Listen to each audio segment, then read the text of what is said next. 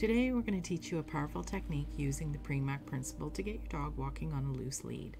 The Premack principle uses high value activities and those could be sniffing or exploring as rewards. If your dog loves sniffing trees, you can use that desire to teach them loose lead walking.